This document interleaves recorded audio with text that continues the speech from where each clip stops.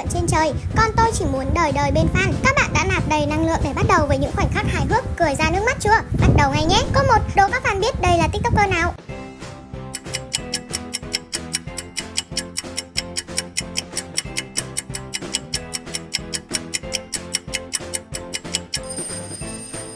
Sau lớp filter là một gương mặt rất đáng mong chờ. Người đẹp đó không ai khác chính là chị Đào Lê Phương Hoa đấy. Cùng xem lại màn đu chen cài hoa lên tóc siêu ngại ngùng của chị ấy nhé.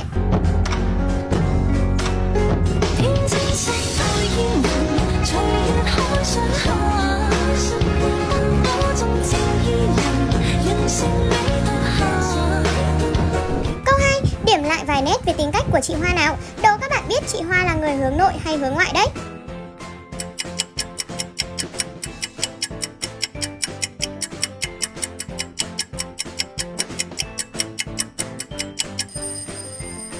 Trời ơi, chị ta đẹp nhưng chị ta lại ngại mọi người ạ. Bởi vậy nên ra đường là bật mút hướng nội luôn. Không biết chị Hoa có lúc nào hướng ngoại không nữa?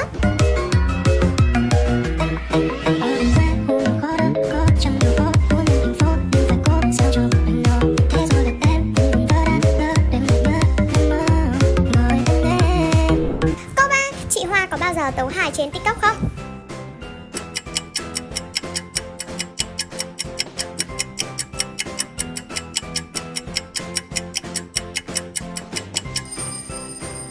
Ai bảo không có là chưa biết đến clip này rồi. Chắc do chị Hoa nhiễm hệ tư tưởng hoa fan Nên tấu hài cực mạnh như này đây. Đúng là bậc thầy bắt bít bà Hoàng du Chen. Dù tấu hài nhưng vẫn chuẩn nhạc lắm.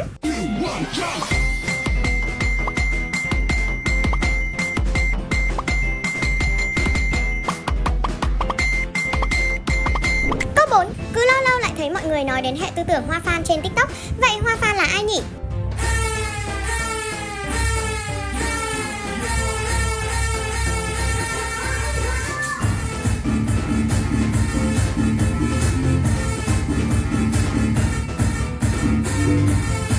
Giải cứu mọi người ơi, hệ tư tưởng tấu hài của Hoa Fan đang xâm chiếm hơn nửa TikTok rồi. Ai can đảm lắm mới dám đu chen như clip số 2 nha. Còn ai giữ hình tượng ngọc nữ thì né vội đi nhé. Xem nhiều cũng nhiễm máu hài đấy.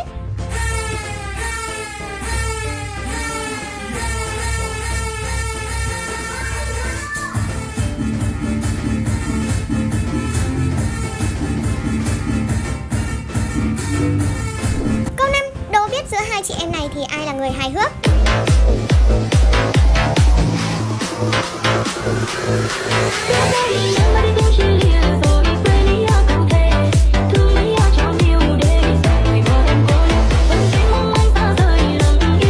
Hai chị em nhà này chung hệ điều hành với nhau, Chắc có máu hài hước trong người nên cứ sơ hở là biểu cảm vui vui nè Bởi vậy nên cộng đồng mạng quý em Cường không kém gì Hà Chuối, Tương lai làm tiktoker chắc luôn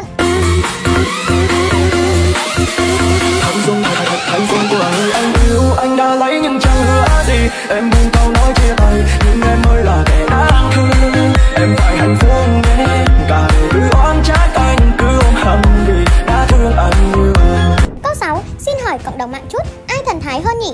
Watch your girl, she's going with me tonight.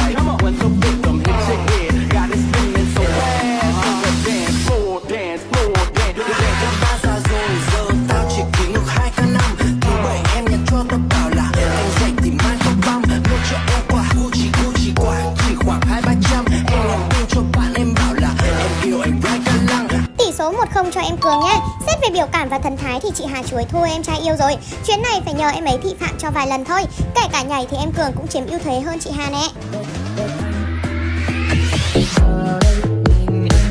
Hãy subscribe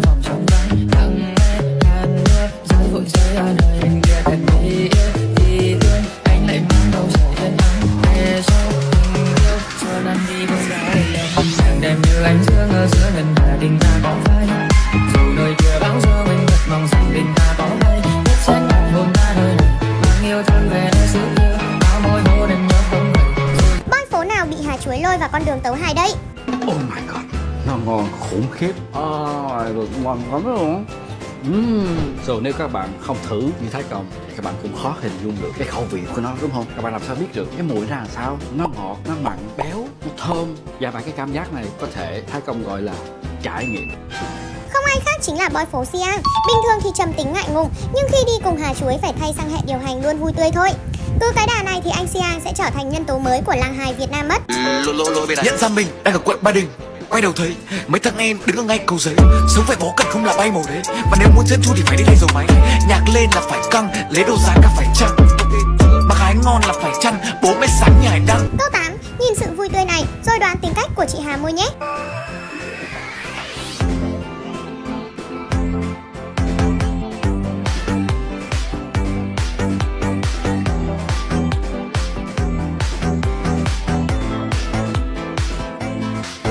Chơi nghe tên thôi là thấy hướng ngoại rồi, chưa cần xem đến clip luôn á. Mà chị ta có xấu hài như các tiktoker khác không ta? Like và tiếp tục thôi nào.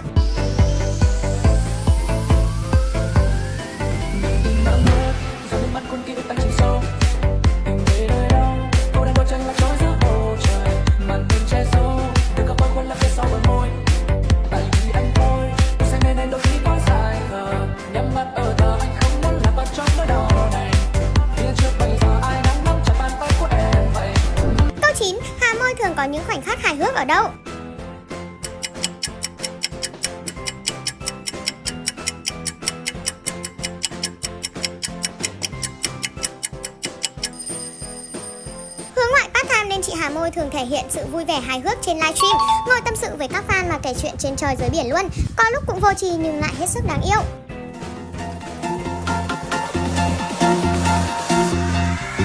Tôi lại lang thang tình yêu thì miên man ngày xanh cùng mây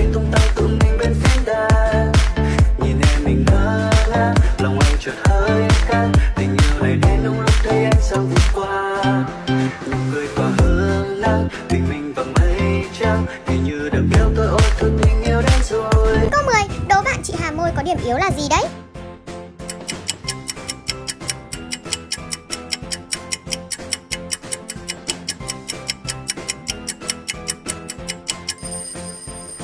Thì ra chị Hà Môi cũng bị rối loạn ngôn ngữ Bảo sao chị ấy có nhiều khoảnh khắc vô tri như vậy? Nhưng mà bù lại Hà Môi lại thể hiện rất tốt qua ngôn ngữ hình thể nè. Một khi lên nhạc là nhảy siêu cuốn nha em bị rối loạn ngôn ngữ em bị uh, tiếp xúc em bị không có không có uh, kiểu uh, tự tin á. Mình sẽ thay thế bằng những là ngôn ngữ về nhịp điệu. Dạ đúng. Mình khai thác cái ưu điểm của mình để viral. Câu 11. Dịu dàng girl này là ai đây? từ lần đầu gặp em lại bị em mắng mấy câu. Thâm tâm anh đã muốn muốn cưới em về làm dâu. Anh cứ đi theo theo em đến trường. Theo em luôn. Chị kính hỏi với mục đích tăng tương tác thôi. Quá nhớ comment đáp án là chị rùa nhé. Bỏ qua khả năng nhảy tuyệt vời của chị ấy đi. Hôm nay chúng mình sẽ khám phá về cái khác mà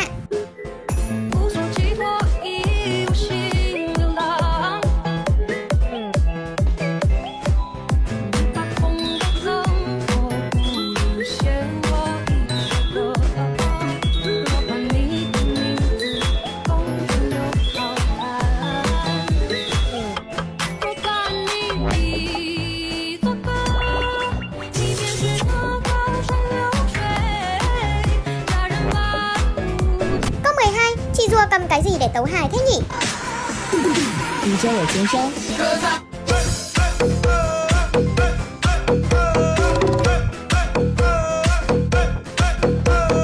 Từ nay các vật dụng nhà bếp thấy rùa và anh Minh Quang thì phải chạy ngay đi nha Đến cái chảo nấu ăn mà hai anh chị còn lôi ra tấu hài được cơ mà. Nhìn mặt khờ khờ mà gõ nhịp chuẩn đừng hỏi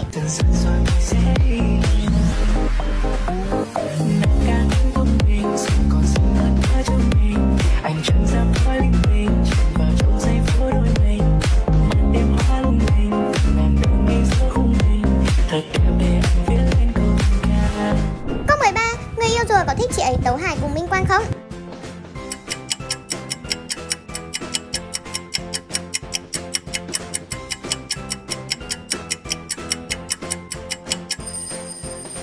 Ban đầu cứ nghĩ anh Tuấn Phong sẽ ghen cơ Thật ra là cả ba cùng tấu hải với nhau nha Thế nên Minh Quang và Tuấn Phong cũng chơi rất hợp đấy Có khi anh ấy là người bày trò cho cả team cũng nên Câu 14 Cô gái váy vàng này có tên là gì?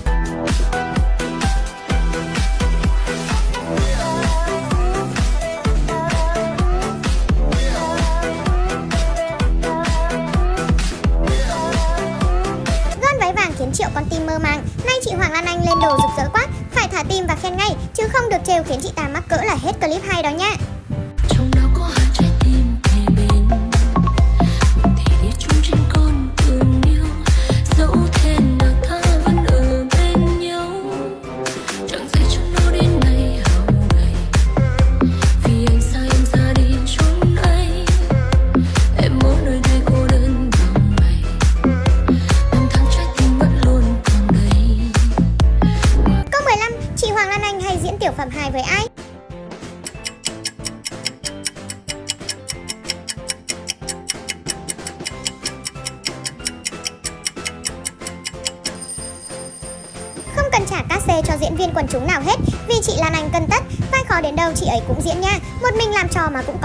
Đấy nè.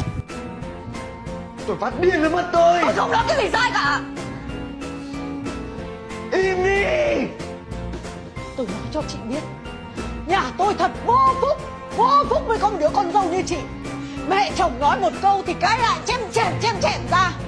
Có phải mẹ chị ở nhà dạy chị như thế không? Câu 16 Chị Hoàng Lan Anh thường tấu hài ở đâu? Anh cắm sừng em, em ngước cái sừng Em lụm cái sừng, em cắm đầu lại Là ra đường là hướng nội liền. Chỉ có ở nhà mới tấu hài thế thôi mọi người ạ. Cứ 10 video thì lại thấy Hoàng Lan Anh diễn trò một lần. Công nhận cũng vui à nhé. Mang ngày Manchester City tới đây. Mang ngày Manchester City tới đây. Mà bảo nguy hiểm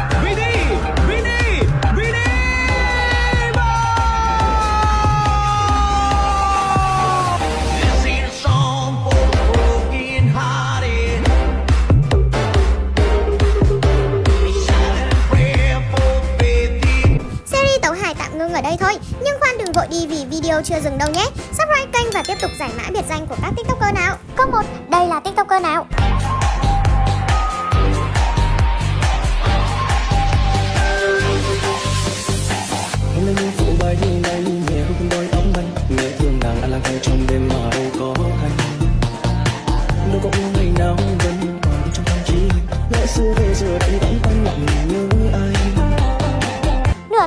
ngửa lại đùa, kể cả ai xem chùa thì cũng biết đây là chị Đào Lê Phương Hoa đúng không?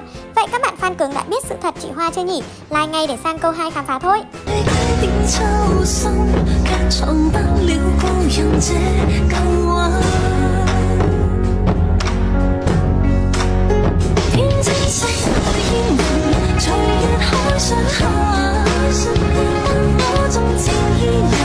những video hấp dẫn Biệt danh của chị Hoa tự đặt cho bản thân là gì?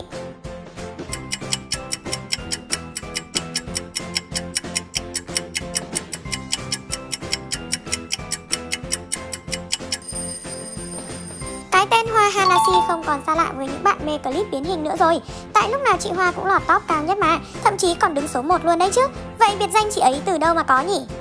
Who are you, really?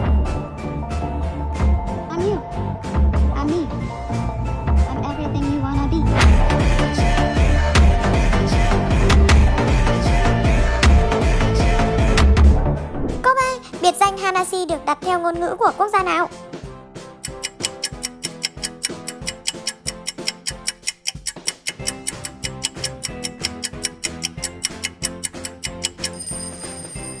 Hoa trong tiếng Nhật đọc là Hana, Cộng thêm chị Hoa nhiều lần đu chen liên quan đến Nhật Bản nữa. Vậy chị kính mạnh dạn đoán chị ấy đặt biệt danh theo tiếng Nhật nha. Mời các nhà ngôn ngữ học và xác nhận hộ chị nhé.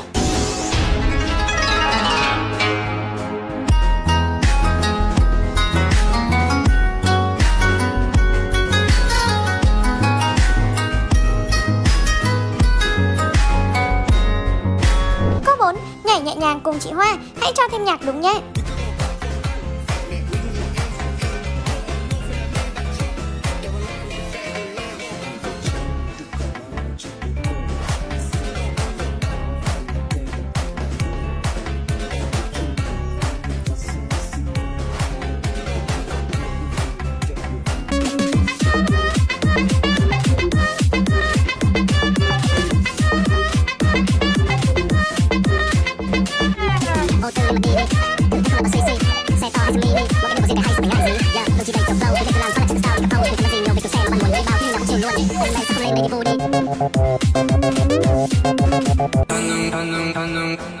可能我总不会忘。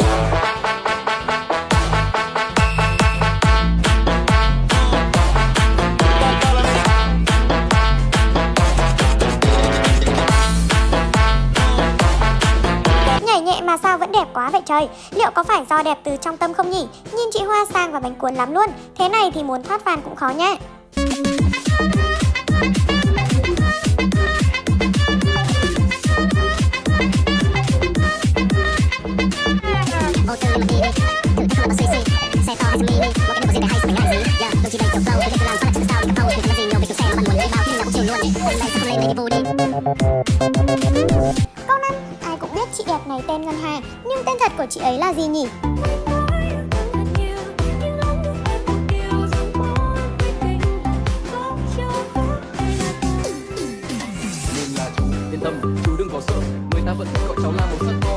Không phải thằng đâu đừng sợ sợ Tên chị ấy hơi bị độc lạ đấy. Nghe võ nữ Ngân Hà là ấn tượng liền. Ngày xưa đi học chắc các thầy cô chú ý lắm đây. Tên kêu như chuông thế cơ mà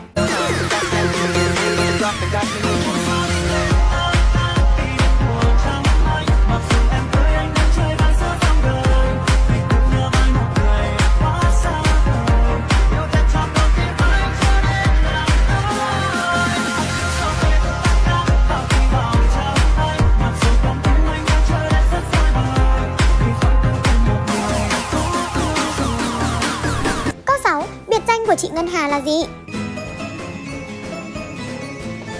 từ lần đầu gặp em lại bị em mắng mấy câu.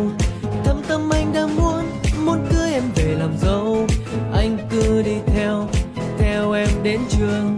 Theo em luôn đến lớp may Câu này dễ ẹc luôn. Biệt danh của chị ấy là Hà Môi Rất dễ nhớ và cute. Chắc do để icon đôi môi đỏ mọng ở tên Nên nhiều người ấn tượng lắm. Nhân tiện thì điểm danh fan Hà Môi bằng cách like video đi nhé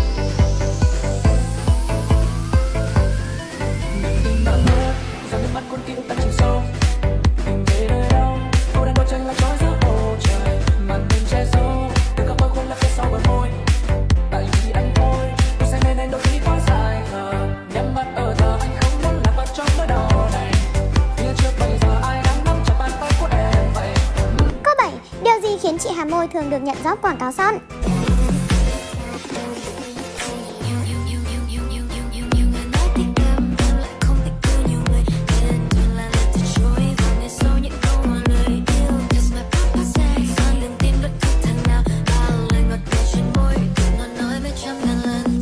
Chị Kính nghĩ lý do lớn nhất là môi chị ấy đẹp đấy. Vậy thì quảng cáo son mới nhiều người mua chứ? Đúng là biệt danh sẽ xuất phát từ đặc điểm của họ mà. Mê đôi môi xinh đẹp này quá đi.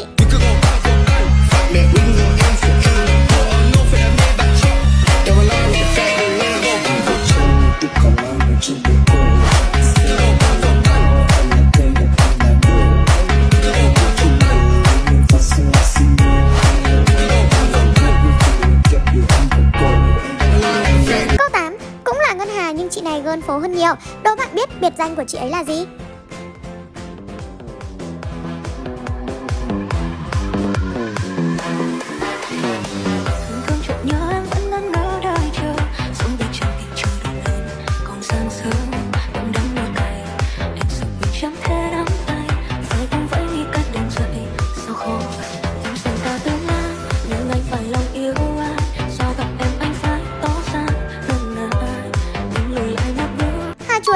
Con tim đắm đuối. Đó cũng chính là biệt danh của chị ấy đấy. Ngắn gọn, xúc tích mà lại rất hoa quả.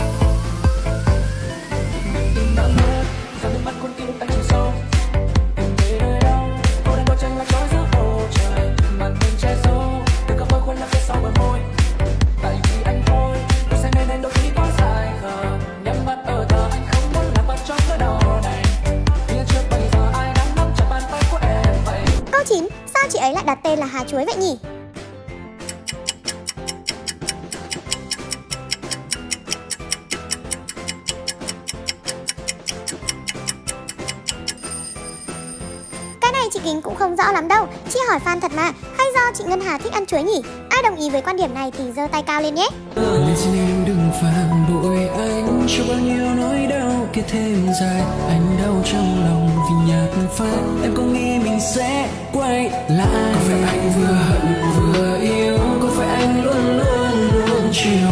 Câu 10 Thời còn đi học Hà chuối có biệt danh là gì?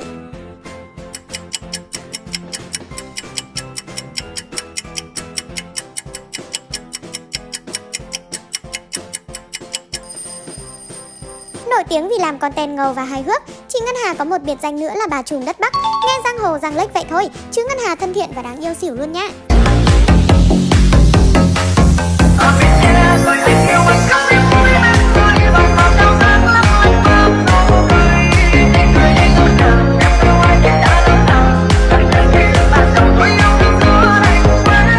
Câu 11, bạn thích Ngân Hà khi là trùm đất Bắc hay là Hà chuối của hiện tại?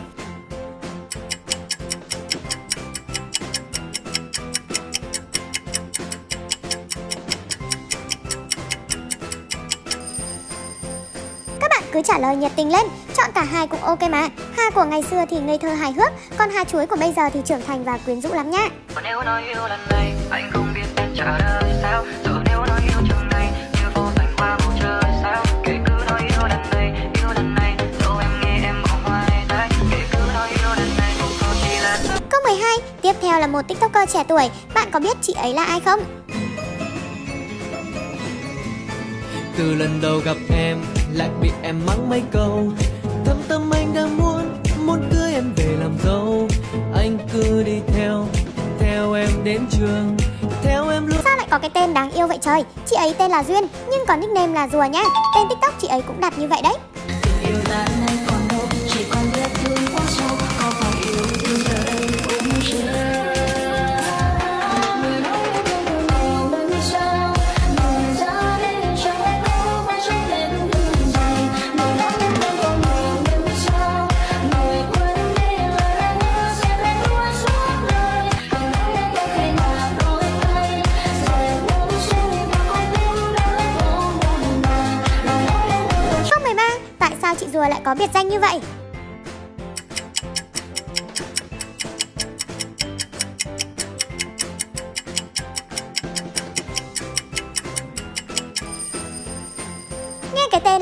Do liền. Hồi nhỏ chị Rùa làm cái gì cũng chậm hơn các bạn. Thế nên cô giáo đặt tên là Rùa luôn. Đến tận bây giờ chị ấy vẫn rất thích cái tên này đấy. Sao bạn lại lấy tên là rùa? Đấy là câu chuyện từ đợt cấp 1 của em là kiểu như là đợt đấy là em lúc nào cũng chậm chạp hơn mọi người ấy. Xong là cô giáo cũng thấy thế là cô đặt luôn tên cho em là rùa Thì em cũng thích cái tên đấy nên em lấy luôn. Câu 14, hiện tại chị Rùa còn chậm chạp không nhỉ?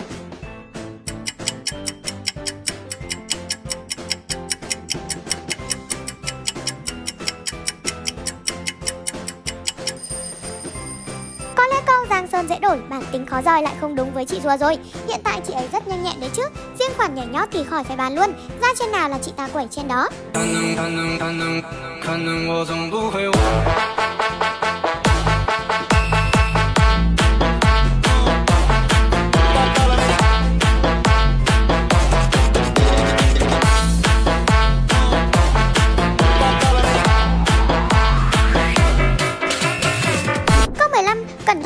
Và chọn nhạc đúng cho chị Rùa nhảy nhé.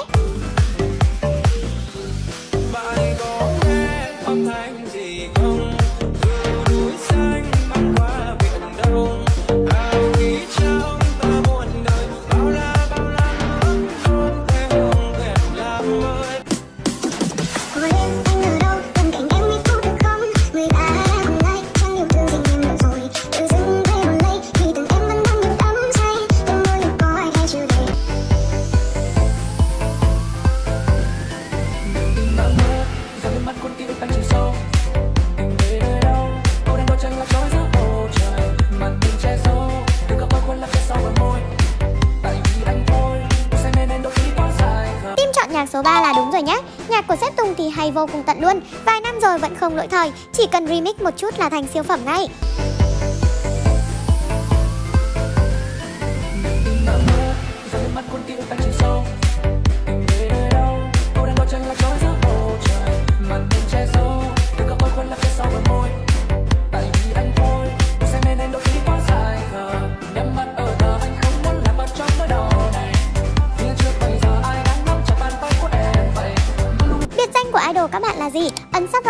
Comment cho chị Kính biết với nhé.